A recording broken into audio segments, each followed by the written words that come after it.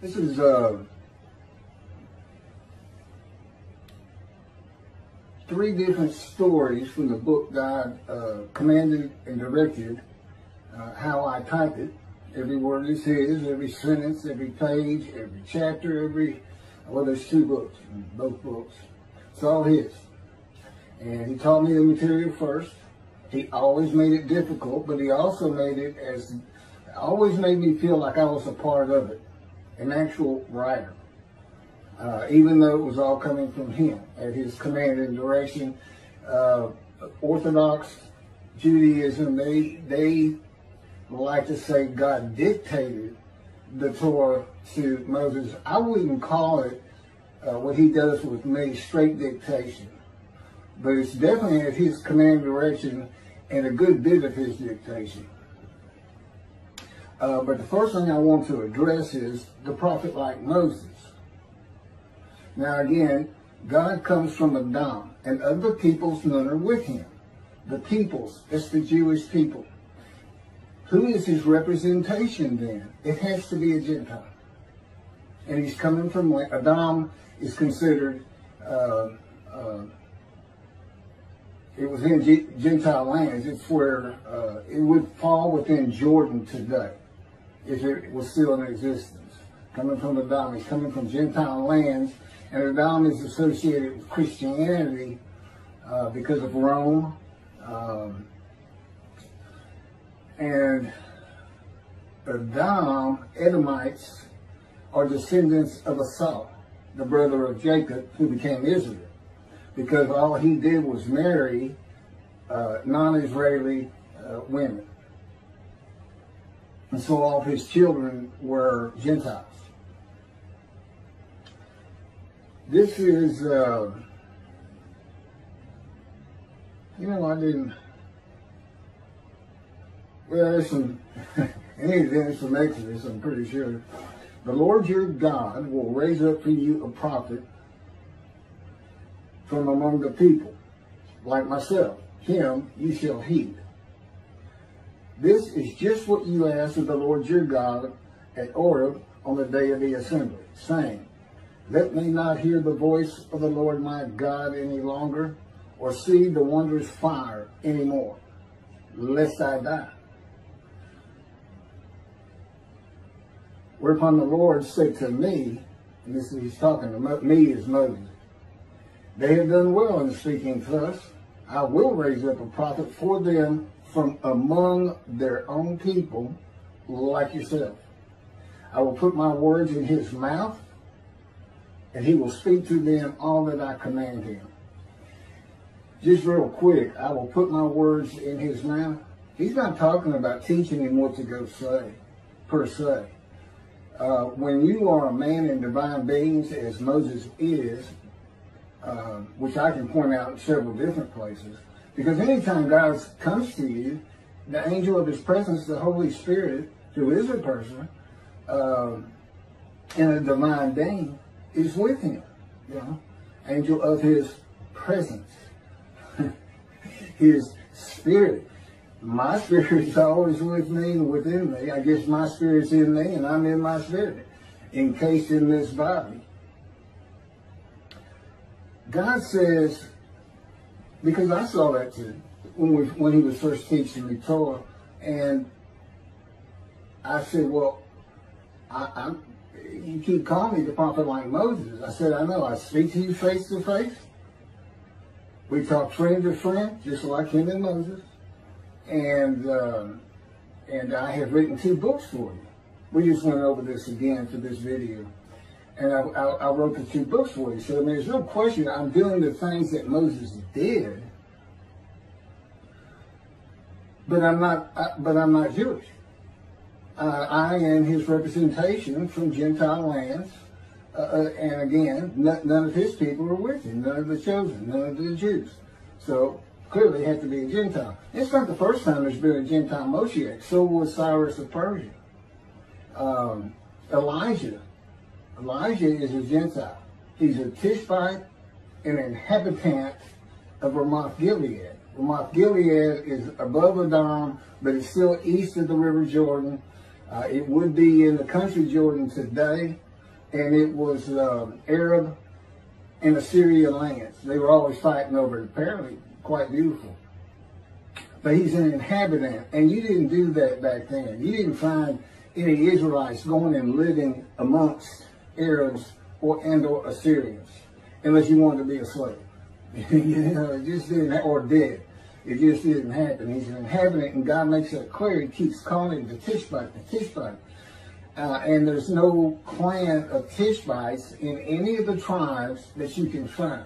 Now, I'll grant you this, not every tribe has a genealogical record. In Chronicles, of course, we have a lot from uh, Kings 1 and 2, Samuel 1 and 2, uh, and, and in Samuel with the kings of Judah, but uh, no clan called Tishbite. It's just not there. And, and this guy just telling you, what do you think? Well, he's a Gentile. And as a matter of fact, when God takes him up, when God takes him up uh, in the chariots of God to heaven and his body disappears, he had crossed over the Jordan. He was on the east side of it. Uh, so he was in uh, where, again, the country Jordan is today. He was taken up in um, Gentile lands. And he was a Gentile. And I am also handling all of his tasks. I am considered Elijah. God has taught me everything of heaven you could possibly want to know or need to know or could understand in vision and by his words and in his power. Um, I am Elijah, who really, since if I don't get done what I'm supposed to get done, primarily clear the way for the Lord and be his messenger of the new covenant, and recounsel the sons to the father and the fathers to the sons by being mindful of God's laws that he gave Moses at Horeb. In other words, make them righteous.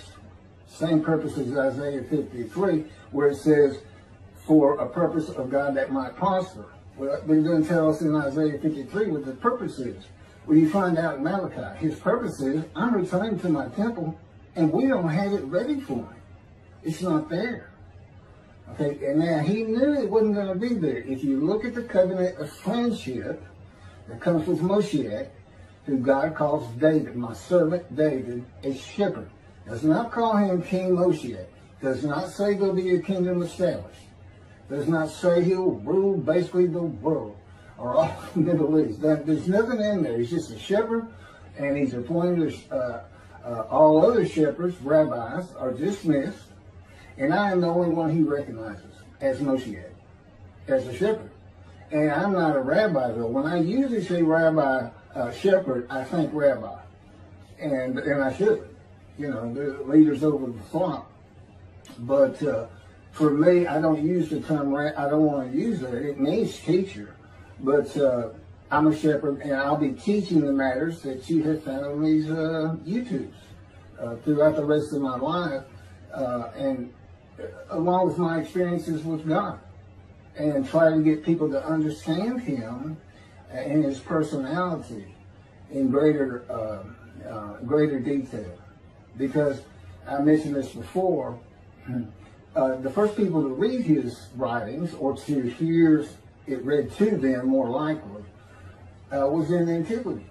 And he had to have a certain persona for the times. And in those times, people felt God, God was always angry. And the concept of a spirit within you going to a spiritual heaven and being with God just wasn't there. That's why you had so much resurrection of the dead. And it was also because we had no medicine, uh, knowledge of, of medicine and science. You know, we know today you cannot take dust and form a human being. That includes God. God said, now, I could have made human beings something so different than what you know that there could be a resurrection, but they still wouldn't have gone to dust. I'd have made sure of that. But we, you know, he says, what I have is perfect. Uh, but anyway, the bottom line is we know there's no resurrection of the dead. I know it to be fact because it's supposed to happen when I arrive. And it, when Moshe had come, it was supposed to have the resurrection of the dead. Well, you better hope not. I don't know that you can even fit them into the square square mileage of Israel, much less take care of them. Can you imagine just the, the Israelites who were in Egypt for 400 years? You know how many people that was? I mean, I don't exactly. I know 600,000 left with Moses, men. That's not counting women and children. Well over a million, I'm sure. What are you going to do with those people? They were savage. In a savage time. Uh, totally ignorant. No school. They wouldn't understand anything. And you had to take care of them. That's just that group. And you got the Holocaust, six million. You got everybody between the Exodus and the Holocaust. Now you got everybody some 70 years later after the Holocaust. You know, and, and scientifically and, and medicine, everything, we know it can't be done. It's not going to be done. But anyway, prophet like Moses on a Gentile. But, who, but, but, but what Gentile? the descendant of King David, one of the greatest Israelites ever. And God considers me Israelite. And God is not bound by the laws of man or the laws of the Jews. Period. He says, that's for y'all. I'm not bound by anything. I'm God. That's how he, that's how he sees it. God. If I say you're an Israelite, is it any different than I I, I, had it written that uh, uh, you were you were now Abram the Hebrew. Well, he wasn't a Hebrew, but I decided he was. I'm God. Mordecai the Jew. Well, he wasn't a Jew beforehand. God just said, Mordecai the Jew. Now he's a Jew. Which I've noted, you know, the, the, the name Jude comes up. It has nothing to do with Jude. Nothing to do with Jude. Um, it comes up in the exile, and it was in Persia.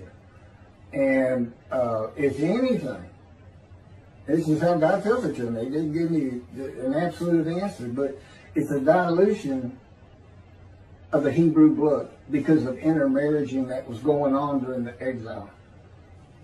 I don't know if that's between just tribes and tribes and Assyrians, uh, Persians, whoever. Uh, but in any event, Jew comes more from Hebrew than anywhere. They both end in A-W. And um, those are the words God wanted. And he, you know, he said, uh, these, these words will identify my people forever. And they have. So, I'm Israelite. I'm definitely not Jewish, but I'm descendant of King David. And, and, and that you know, nobody can have a uh, genealogical record of that. It's because the Spirit of God lit upon me and entered into me, and God is in his Spirit.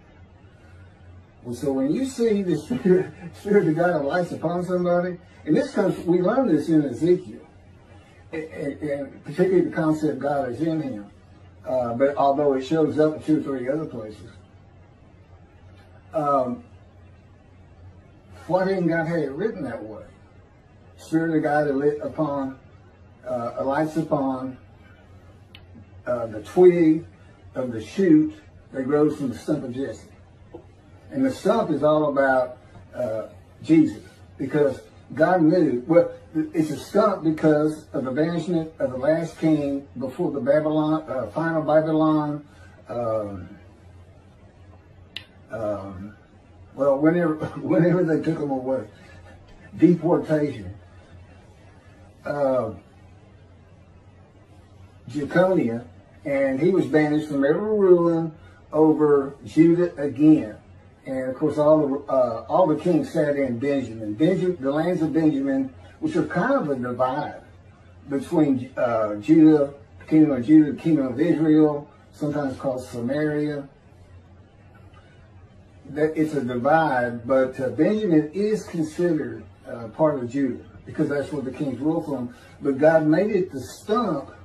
He knew the Christians were going to use the line of the kings of Judah to get to Jesus. He, I don't know if he actually knew the name would be Jesus. As a matter of fact, it's supposed to be Emmanuel. If they had followed the prophecy, they say prophecy satisfied, and they shall call him Emmanuel, which means God with us, and then they name him Jesus. So, I don't know. You can't, you know, you can't make heads or tails of that religion. Other than it, it's nothing but a human sacrifice cult, if you want to sum it up, of a mythical man named Jesus. A mythical man. And I've got, you, I, I, well, God put forth an argument. This is the only, the only place in the entire book that's not outright backed up by Scripture. A, a statement such as that, that he never existed that it's just a story that started a hundred years before uh, uh, the Gospels say he was born. Okay, I'm supposed to move on. I guess I am taking too long. Uh, but anyway, so that's why it's a stump. The only ancestral tree we know of from King David through King Solomon. It has to be through King, Solomon because they both were given, uh, David was given the Davidic covenant and I guess the Solomonic covenant. I don't know. Anyway, eternal kingships. Um, that that's all we had, and so that that got cut down. It got banished, and so a new tree sprouts, and that would be the genealogical tree that I'm a part of the shoot that grows from the stump, and somewhere down the line, here's a little bitty leaf, a little bitty stem and a leaf, and that's me. And my name would be written on the leaf, Keith. And uh, so I'm part of the uh, genealogical tree that we don't know anything about. But I know who I am because the Spirit of God lit upon me, entered me, and God is in His Spirit, and God flat out told me, you are descendant of King David. You are Israelite. You are of the Israelites, and you are an Israelite as far as I'm concerned. In any event, for those who don't like how God does that, and I guarantee there's someone out there, um, I'm going to be an Israeli citizen one day, which means I'm converting to Orthodox when we get to Jerusalem. Meet some people I want to be converted by. Uh, I started the conversion process here um, at a conservative synagogue, the largest uh, conservative synagogue, or one of, in the world. Great people, but it was God wanted me to experience. Oh, by the way, I didn't tell anybody who it was. I didn't say anything. I didn't walk in and say, hey, I'm Moshe.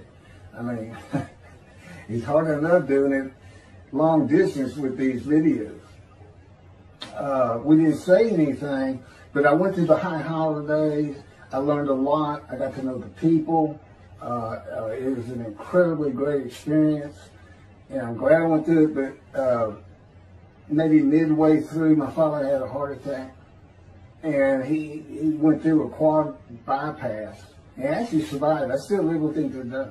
Take care of him and my mom in return for room and board because God had me stop working 13 years ago. And fortunately, I finally started getting some Social Security money here recently on an early filing at 63, just turned 64. But, uh, so I'm going to be converting, and I learned that that means I have been a Jew since birth. So that's going to take care of the whole issue. Um, so picking up,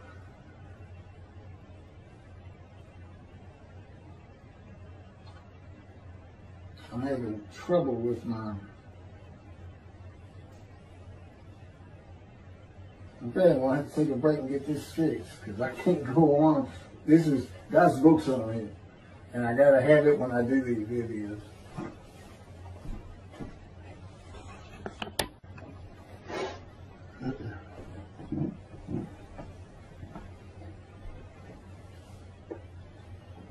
Okay, I got that fixed. As I mentioned, Moses is the man of divine nature. Uh, and why is that? Because he hears God talking to him. Ezekiel, in Ezekiel, I can't give you the chapter and verse. In Ezekiel, God tells him Ezekiel, or old mortal, I'm not sure which, I think he said Ezekiel, stand up upon your feet. And actually, that happens more than one time. Ezekiel, stand up upon your feet. I've got a side note on that in just a moment. Ezekiel says, at that moment, a spirit entered into me and I could hear his words. Couldn't hear his words until the spirit entered into him. God is in his spirit. So if God is talking to Moses, and we already know wherever God's presence is, the angel of his presence, the Holy Spirit is. So immediately, we know that the Spirit has entered Moses, and God is in his Spirit, and God can and Moses can hear his voice. So he's he's a man of divine things, which is a host of the Lord's hosts, according to uh, three verses out of Joshua uh, that concern the captain of the Lord's host, who's a harbinger of me.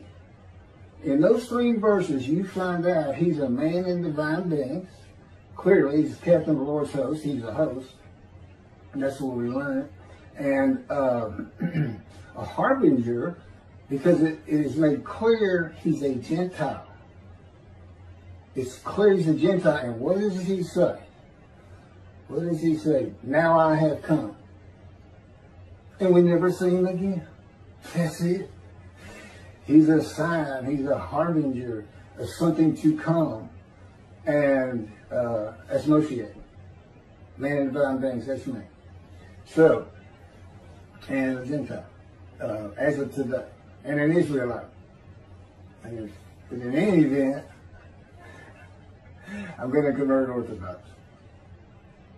Okay, this is, uh, I have three short stories uh, that God dictated that I'm going to go over you need to hear that backdrop about Moses. This is called Moses and the Angel. Moses tells the Israelites, oh, this is from Exodus chapter 23, verses 20 and 22.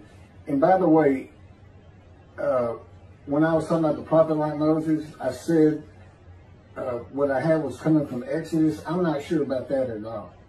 It, it may be the last book uh, of the Torah. I'm not sure. Moses tells the Israelites that God is here in order to test you and in order that the fear of him may be ever with you. Well, it should. God had Moses set a rule before the Israelites regarding the angel he sent to guard them on the way and to bring them to the place that he had made ready as the angel of his presence. I am sending I am sending an angel before you to guard you on the way and to bring you to the place that I have made ready. Pay heed to him and, and obey him. Do not defy him, for he will not pardon your offenses, since my name, which is Hashem, God, since I my name is in him. I, I think it's actually the name for Hashem. But anyway, that's what he's saying. I am in him. But if you obey him and do all that I, that I say, obey him, do all that I say. He's not saying to do everything the angel says. It's because they're like this. They're right together. I will be an enemy to your enemies and a foe to your foes. God had Moses set a rule before the Israelites regarding the angel he sent to guard them on the way and to bring them to the place he made ready. There are no orders, instructions, rules, or commandments between an angel and Moses or an angel and the Israelites.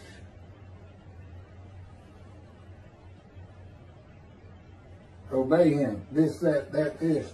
And yet, that we don't have a single account of anything coming from the angel.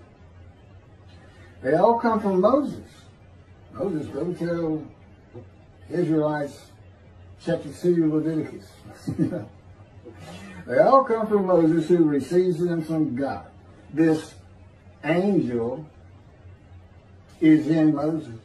Moses is a man with divine beings who is a messenger of God's laws the divine beings of God and the angel of his presence, the Holy Spirit. A man with divine beings is a host of the Lord's host. The descendant of King David that the Spirit of God alights upon is a host of the Lord's host. One God, one angel, and one man.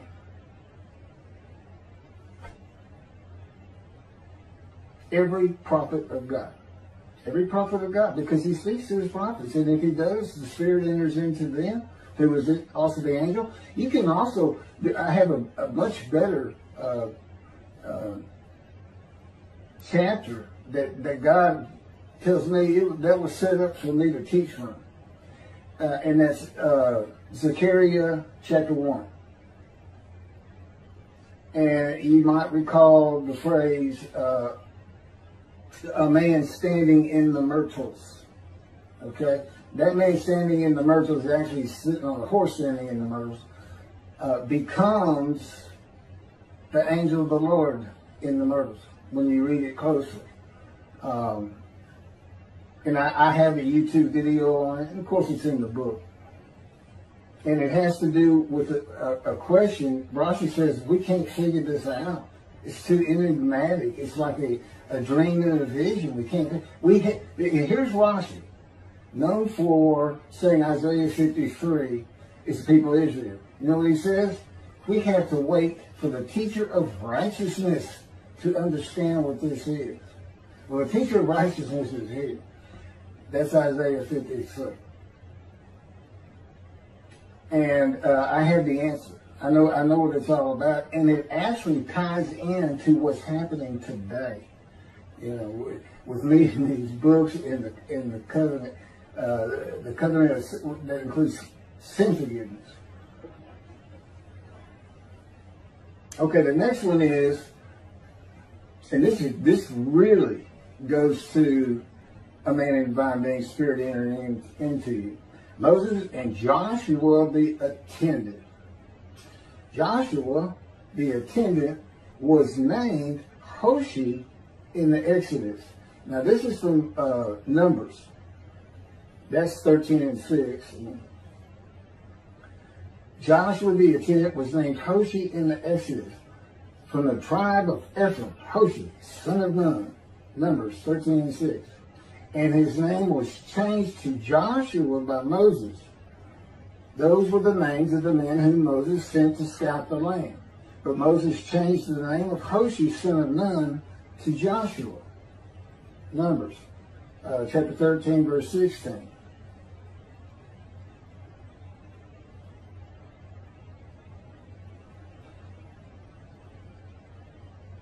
Okay, but here's what's interesting.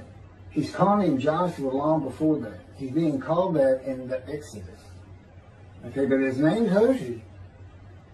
And he doesn't become Joshua until much later. But in this rendition, you're going to see his name's Joshua.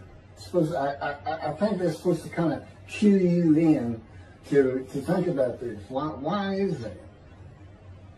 On the first ascent of Moses,